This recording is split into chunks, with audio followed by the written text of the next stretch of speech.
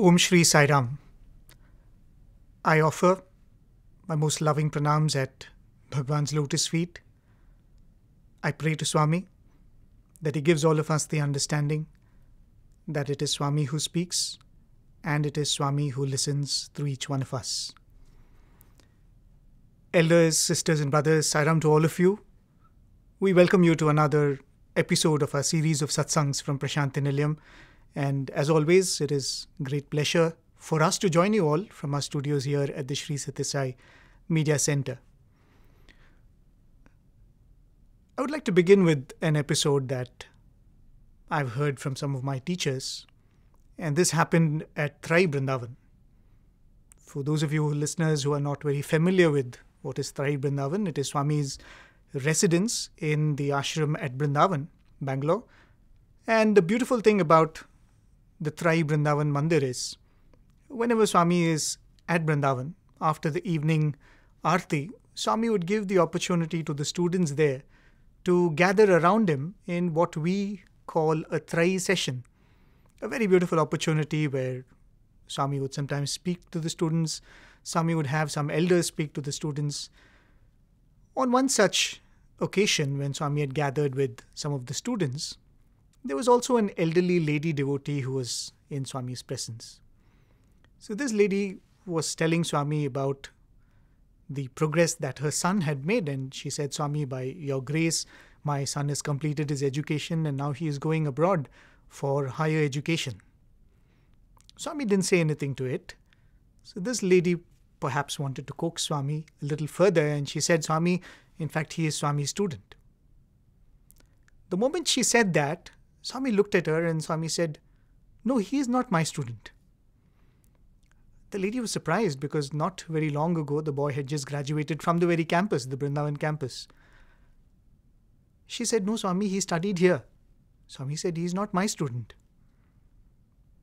The students and teachers around also were surprised because they all knew who this boy was. In fact, one of the elders seated there also tried to, to remind Swami, quote unquote, that Swami, that boy indeed studied here. Then Swami said something which was very important for all of us who have been given this opportunity to be Swami students, and that is why this teacher was narrating this episode to us. Swami said, He may be a student of the university, but he is not Swami's student. And then Swami went on to give a beautiful and very deep and profound explanation for that. Swami said, when you join a college or a university, the university has its own curriculum, it has its syllabus, it has an attendance that you will have to fulfill. And when you fulfill all of these criteria that the university puts forth before you, and then you write your exam and you clear it and your practicals and theory and all of that, and at the end of it, the university will give you a certificate saying that yes, indeed, this person was a student of this university. Swami said, in the same manner, even I have certain prerequisites before which I will not certify you to be my student. And Swami said, you could be a student of this campus, of this college, of this university, but to be Swami's student, you have to fulfill my criteria. As I said, a very profound interaction, something that we all have to think about. Well, not merely Swami students, even those of us who claim to be Swami's devotees. Swami would often say, and I think he writes even in the Gita Vahini, we proclaim our love for Swami, but shouldn't it be he who says that this is my devotee? On one occasion, when we had a youth conference or a workshop for youth at Prasanthi Nilayam, which I also had the opportunity opportunity to be a part of as one of the speakers and panelists. We had mentioned this episode and we were telling the youth that this is what we all must strive for to get that approbation from Swami himself. The point was made and the point was well received. But the subsequent day, when we were having a panel discussion, and uh, as I said, I was also one of the members in that panel, when we opened up for questions, one student got up and said, You know, I, I was truly moved by uh, that narration of Swami saying that you should do certain things before I can call you my student. So the boy said, What should I do? What should I do to get that approbation from Swami? One of the co panelists then made, made a statement which was very, very true, but absolutely contrary to the point that we were making. This panelist said, Why do you have to think like that? Swami's love is your birthright. You can demand Swami's love from him. Swami loves everyone, and you don't have to be or become anything to be an object of Swami's unconditional love. It's an absolute truth, isn't it? Well, then, how can two things that are contrary be true? This is true, and what we said was not wrong either. When I was a student once, Swami had taken our class for a, a small session at a devotee's house. It was a very beautiful and warm setting. Swami was seated in the living room of this devotee, and we all had gathered around Swami. So were the family members of that devotee. And Swami was sort of introducing some of the students to the devotees and the devotee to the students who were there. So Swami was speaking to an elderly gentleman, and Swami asked him, How old are you? And this devotee said, Swami, I'm, uh, I don't remember the exact date, uh, year that he said, but somewhere in the mid 50s or late 50s. And immediately Swami said, Oh, you're going to turn 60 soon. Swami said, I will do your Shashtiyabda Purti. Right? It is the ceremony that is done when the husband of a couple turns 60. It is something like a spiritual marriage that is performed. And we know that Swami has done this or given this blessing to many devotees of he himself performing the Shashtiyabda Purti. So when Swami said this to the devotee, understandably the devotee was extremely delighted. There was a smile on his face. And then Swami turned to us who were there and Swami said, See this person? I performed his wedding. Now I'm going to perform even his 60th uh, wedding, the Shashtiyabda Purti.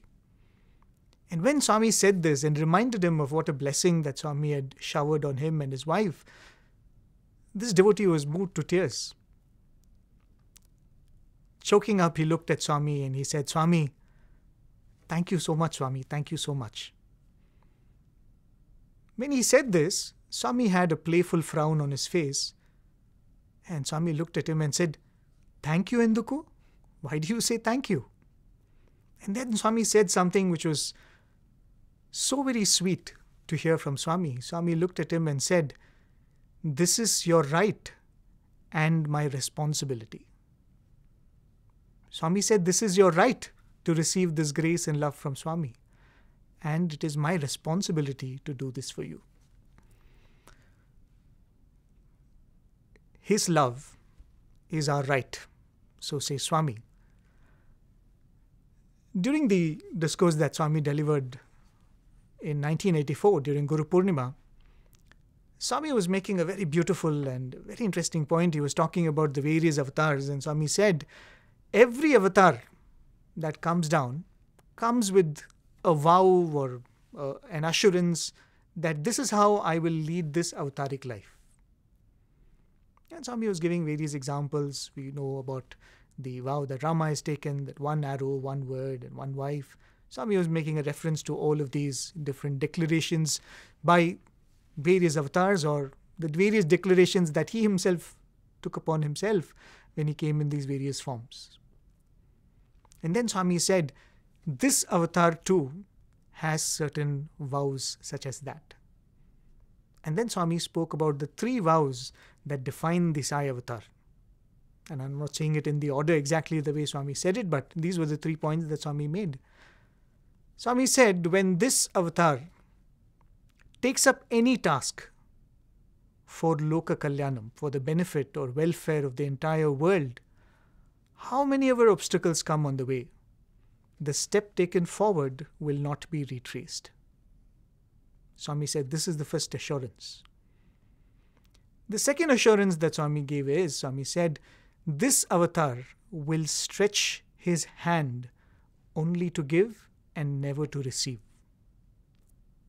This is how this entire avatar is going to be led. And the final assurance that Swami gave is once when I say that this devotee belongs to me,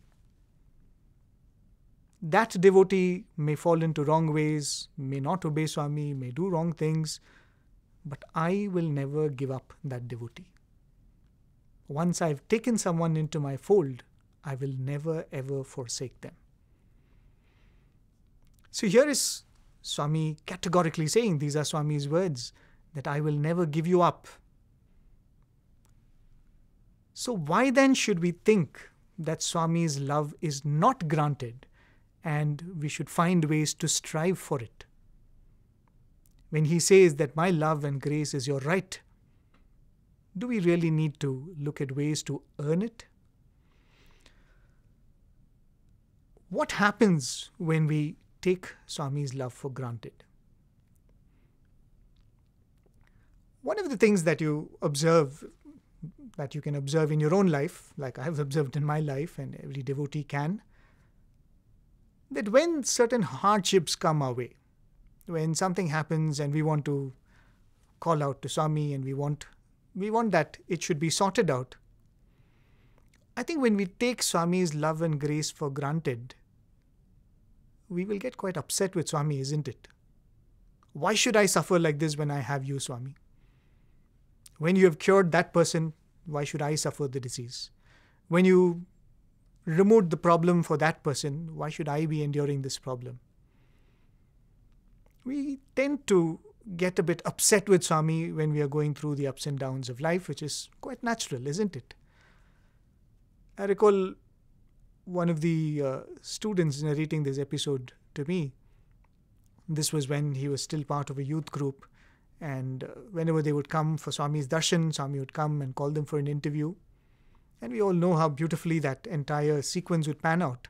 Swami would come and ask, Where are you from? How many of you are there in the group? and then Swami would call them inside for an interview. That's pretty much how most interviews would uh, be granted, isn't it? So Swami comes up to this group of youngsters and uh, Swami tells them, How many of you are there? I think something like that must have happened. And Swami tells them, I will speak to you tomorrow morning. Meaning, I will call you for an interview tomorrow morning. So you could imagine they were all really excited. The next morning came, and it appeared that Swami had completely forgotten about it because Swami didn't call them, Swami didn't come anywhere close to where they were seated. And the students, I mean, the youth were disappointed. So they all went back to their dorms where they were staying in the ashram. And they must have vented out that disappointment that had built up, right? Quite understandably. And they said, Oh, Swami gave us a word and he didn't keep up the word. And why does Swami have to do like this? Why should Swami tell that he's going to call when he has no intention of calling? And we all let our minds run away with it, isn't it? Oh, Swami is interested only in the rich people. Oh, Swami wants only, Swami will talk only to his students. All these sort of preconceived notions start pouring out in the form of that frustration. That afternoon, Swami comes and promptly calls the group for an interview. And when inside the interview room, Swami spoke to them, whatever he was speaking uh, generally to the group.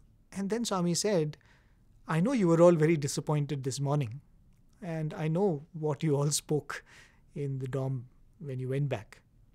And understandably, the youth were a bit embarrassed and apologetic about how they had spoken. But what Swami said after that was very, very profound, and I think something that we all have to keep in mind. Swami said, See, I, I do not have any problem with anyone criticizing me. But I want to have a I want to make a request to all of you, Swami said.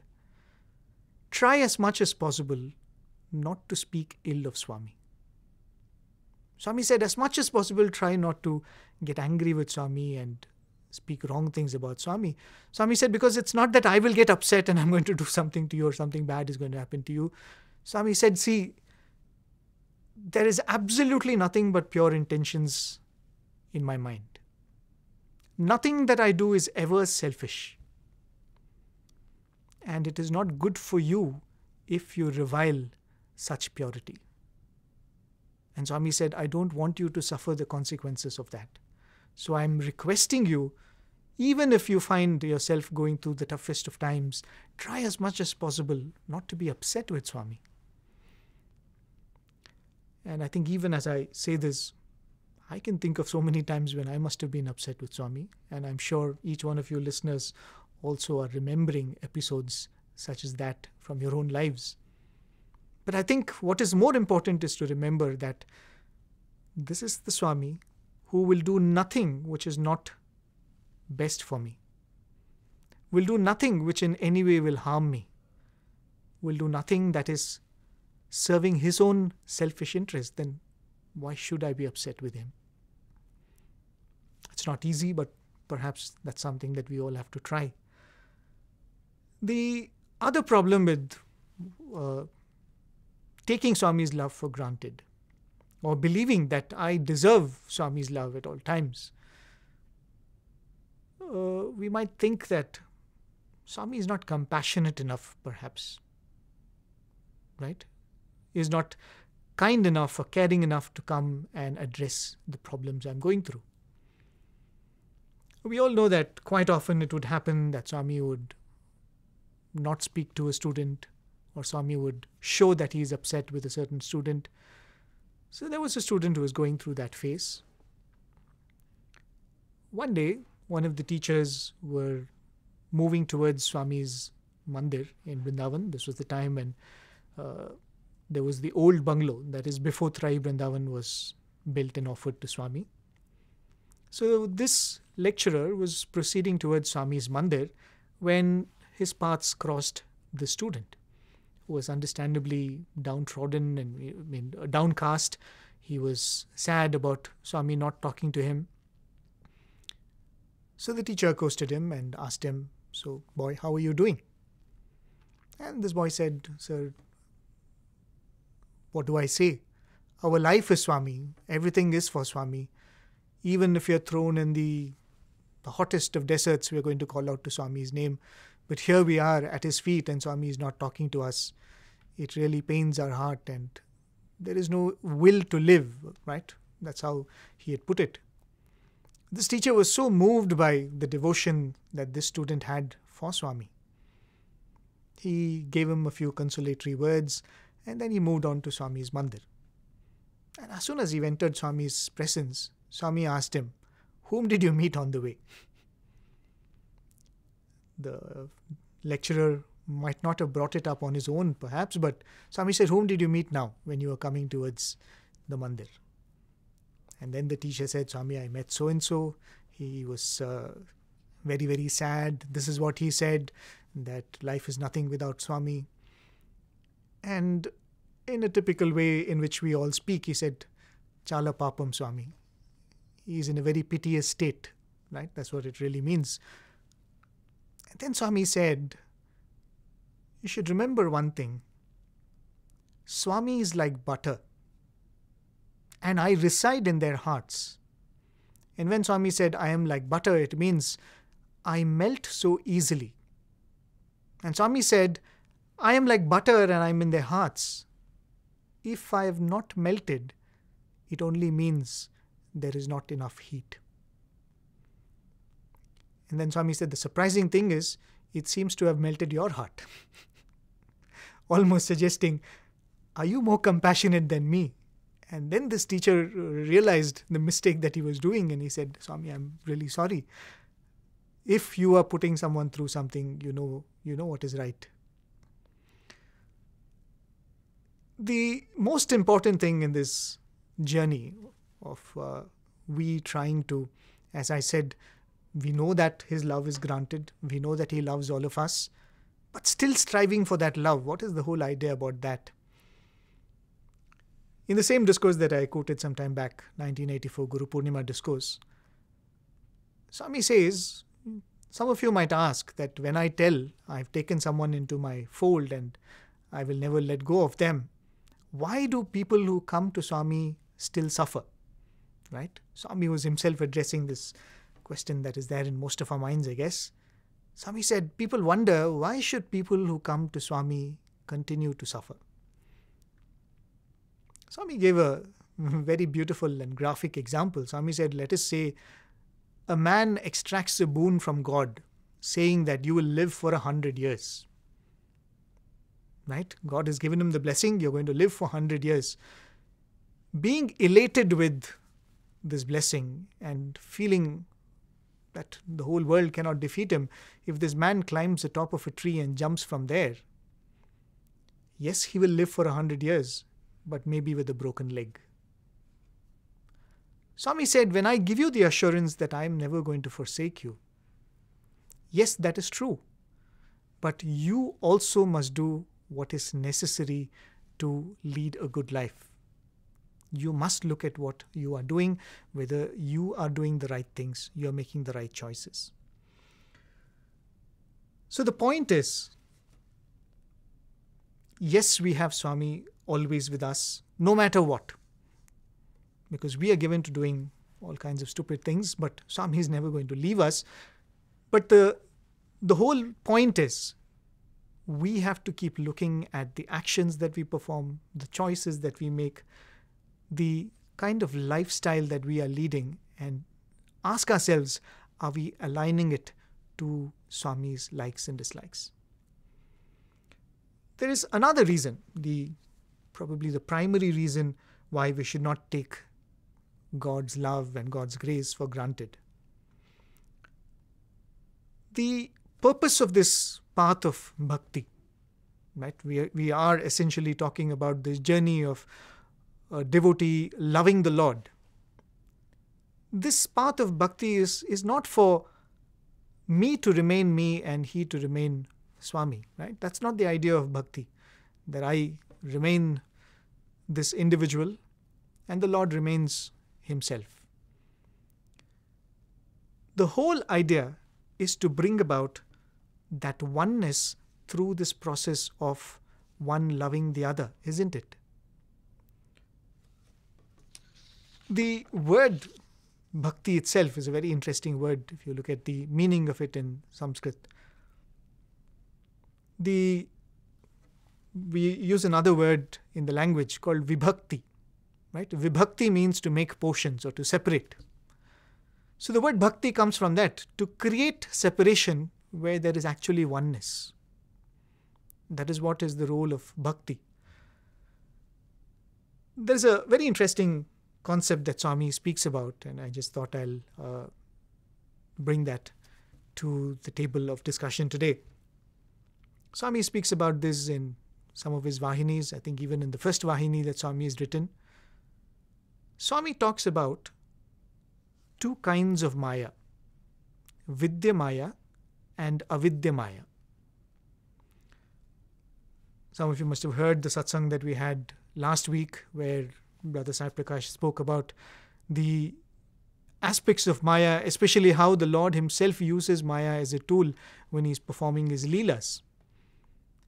The Lord also uses the Maya for this very essential journey that we all are going through. What is this Vidya Maya and Avidya Maya? To simply put it, Avidya Maya is that delusion which, when you indulge in, it takes you further and further into Maya or delusion. Some would often say that this feeling that I need to earn a lot of money, only when I have comforts in life I can be happy the, the various kinds of uh, attachments and things and possessions that we fill our lives with, they're all avidyamaya. The more you indulge in them, the more further away from the truth you will be taken. But there is also another which is called vidyamaya. Indulging in it will actually take you towards freedom from Maya. And that is the Maya that Swami employs. Because when you say, Bhakti is to bring about separation where there is oneness.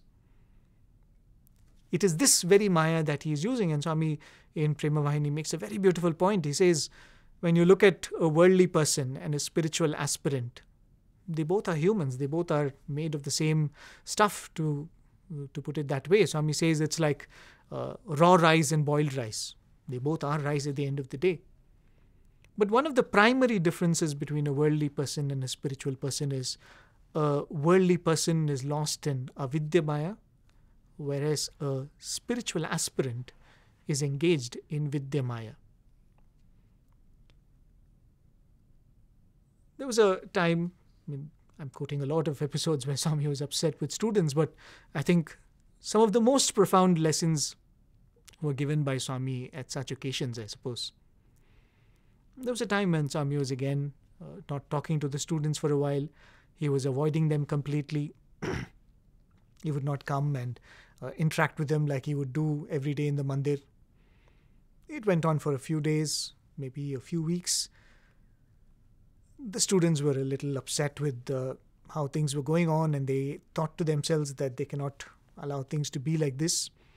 They will have to go and ask Swami to forgive them. So they decided that that evening, when Swami comes for darshan, they will encircle him and they will plead with Swami to forgive them and start speaking with them like he would do before. That evening, Swami came. The students were all very emotional. They surrounded Swami. And Swami looked at them and Swami said, What? And the students by then were all choked by emotion and they could say nothing more than, Please, Swami, please, Swami, please, Swami, please, Swami. Swami looked at them and Swami said, Please, what? What are you asking for? When you say please, it means you're asking for something. But the students were not saying what they were asking for, they just kept saying, Please, please, please. And Swami said, Please, what? What are you saying? So one of the students said, Swami, please talk to us. And Swami looked at that student and said, What am I doing now?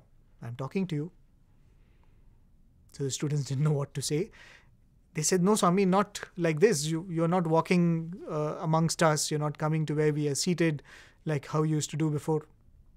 Swami said, Is that so? Okay, make a path. And Swami put his head down and walked through that block up and down, swiftly, as quickly as he could. Swami said, Done. What else now? Swami was talking, Swami was moving amongst them, but things were not the same. And the students didn't know how to convey this to Swami. Swami, you know what we are trying to say. You're not you're not normal with us. You're not speaking with us as usual. Then Swami said, Boys, understand one thing. I have not brought you to me, I have not brought you around me, I have not come into your lives to be liked by you. And to make it make the point even more firm, Swami said, A dog likes its owner. I don't want to be liked by you. Swami said, I want to be loved by my students and devotees. And if you really want to show love, the only way you can do that is by paying attention to my words. This whole journey of we trying to love Swami, we trying to earn Swami's love, which is an illusion because as we started off with, his love is granted. It is in the world that we need to become something or be somebody to be loved by others. We need to achieve something so that people will look at you and say, oh, you know, once you start achieving things, people will start claiming you. Oh, I know this person, he's a good friend of mine. Oh, so and so is a relative of mine. But Swami's love is unconditional. He does not want you to be anything or become anything or achieve anything for him to love you. But that being granted, this illusion that sometimes Swami is unhappy with me or sometimes I have to do something to please Swami, it is this illusion that enables us to purify ourselves because that is the whole process. We are not here to remain ourselves and He remain Himself. He comes down in a human form so that He can lead us towards, towards that oneness, isn't it? So the truth is this Swami's love is indeed unconditional, and we should never ever forget that. The confidence that we draw from life, the confidence that we draw from this statement of Swami is indeed very, very worthwhile for our life, and we should never give that up. But at the same time, to strive to achieve Swami's love. As I said in the beginning, to strive to receive that certificate from Swami's love, from Swami, where he says that he is mine or she is mine. That should be the one goal worth striving for in our life, isn't it? We have been gifted the greatest blessing that we could ever ask for. The day we came into Swami's fold, as Swami said, once I've taken you into my fold, I'm never going to forsake you. So the day each one of us, in our own understanding, we have come into Swami's fold. We don't know when it, ha- it has happened, but in this lifetime, we probably will know that, okay, from this time I became a devotee of Swami or I had Swami's darshan for the first time. So imagine when Swami says, I'm never ever going to forsake you, the moment we have come into Swami's fold, the greatest gift has already been given to us. We have found the very goal of this lifetime's long journey. How are we going to respond to that? When we read the Ramakatha Rasavahini, Swami writes about a few of the characters in the Ramayana. It's very interesting, each character, how they responded to this very blessing that I'm talking about. When Rama is going towards Panchavati, Swami says that he stops for one night at the ashram of sage Bharadwaja. Sage Bharadwaja, one of the great sages of ancient India, is has set up his ashram there. He has a lot of disciples there. So Rama stays for one night at Sage Bharadwaja's ashram. The next morning, Rama and Lakshmana very reverentially go to the sage and tell him, Would you be kind enough to accompany us to the confluence at Prayag so that we can offer our morning prayers there? Sage Bharadwaja says that, oh, Rama, you can proceed if you want to, but I am not coming for any morning prayers. And Rama is surprised. He says, Don't you do prayers in the morning? You, you are the guru here, you must be doing all of these prayers. And then Bharadwaja says, I've done enormous tapas. I've done a lot of sadhana in my life. I've done a, I've set up my ashram here, I've guided so many people. Bharadwaja said, All of that culminated yesterday when I met you the greatest blessing for all the sadhana that I performed was when I met you, Rama. Now, to do anything for me is meaningless. And he tells Rama that you may proceed because you have come to act out a drama. But I know what you are, I know who you really are.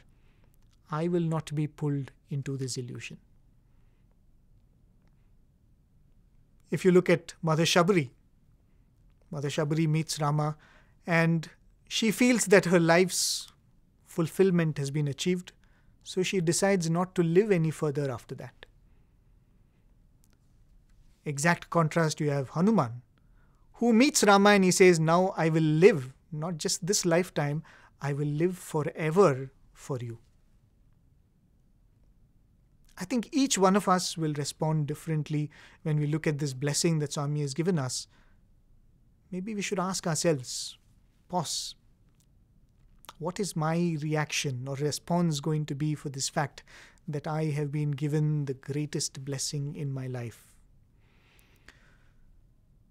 I'm not going to tell you how exactly we should think about it or how exactly we should respond. That is for each one of us to contemplate on. But these sessions that we have here as satsangs is not merely to convey something to you all listeners. It is also an opportunity for self reflection for some of us like me. So I'm going to take the liberty to reflect a little on this for the next two minutes before I conclude this satsang. Yes, I started off by saying, or my entire talk was on how we should not take Swami's love for granted. But if we were to take Swami's love for granted, how should it reflect in our lives? There is a beautiful poem in Telugu, which is, I think, composed by one of Swami's devotees.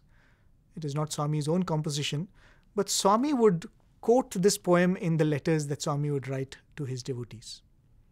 And Swami would say, Make this your prayer. And I feel this should be how we respond to this blessing that has come our way. The poem goes సిరులకేమి Prasanna చిత్తుండవైనచో చాలు నాకదే పదివేలు తండ్రి సిరులకేమి Prasanna చిత్తుండవైనచో What do I have to do with all the wealth in the world? As long as you are pleased with me, Swami, that is enough for me. సుఖ సంపదలకేమి సుముకుండవైనచో చాలు నాకదే పదివేలు తండ్రి What do I have to do with conveniences and comforts and luxuries in life? I have found you, the one with the most beauteous face, and that is enough for me, Swami. కోర్కలకేమి నీ కటాక్షమున్నచో చాలు నాకదే పదివేలు తండ్రి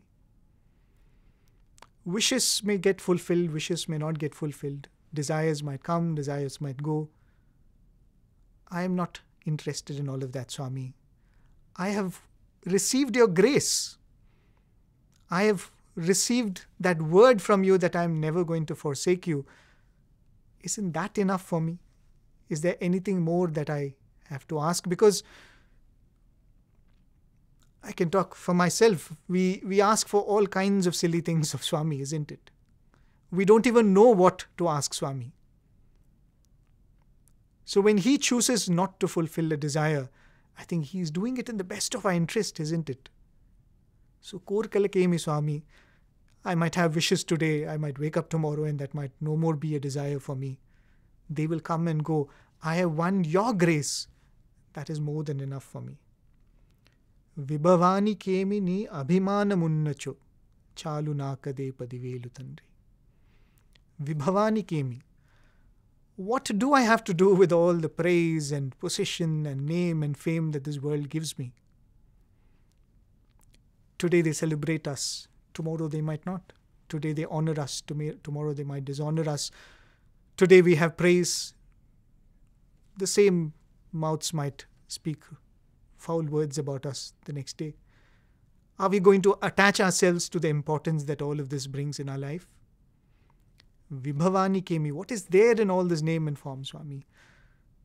Ni abhimanamunnacho, I have become a recipient of your love. That should be more than enough for this life. ఇచ్చినవి ఏవో ఉన్నవి ఇంతే చాలు అధికములకేమి అవి ఎప్పుడైనా కలుగు Swami, whatever you have given for me in this life, I might be poor, I might be rich, whatever you have chosen and given me, that is sufficient for me. If I need more, I can get it any time because I have you. If at any time I need more than what I have, you are here to give it to me. And the final line of that beautiful poem goes వీడు నా భక్తుడని ఎల్లవేళల నీకు ఒక్క రీతి అనుగ్రహమున్న చాలు for me to receive that blessing from you that వీడు నా భక్తుడని he belongs to me she belongs to me this is my devotee this is my property that one approbation from you, that one declaration from you, is all that I strive for, Swami. To have that one blessing from you is more than enough. If we really have to take Swami's love for granted, the best reflection of that in our life is constant, undisturbed happiness, isn't it? Because now we have placed all our happiness on something that is never going to change, something that is never going to be lost. Won't our happiness also become eternal and unchanging? I said that when we take Swami for granted, when ups and downs come our way, we might get disappointed, we might get upset with Swami. But when we really place all our happiness on Swami, nothing can take that away from us, isn't it? Because now our happiness is not based on whether something gets fulfilled or something is received or something is achieved. Whatever problems may be there, may not be there, gets solved, doesn't get solved. I'm poor, I'm rich. But the greatest blessing has already been given to me, and nobody is going to take that away from me because my Swami has given me the word once I've taken you into my fold, I am not letting go of you. These were the few thoughts I wanted to share with all of you as part of this week's satsang.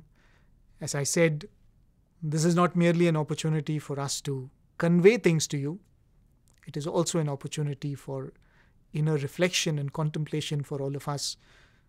So I thank all of you for giving me the opportunity to share something with you which I believe I need to hear more often. And I most humbly offer this at Bhagwan's lotus feet, and I thank each one of you for your lovely company and patient listening. Jai Sai.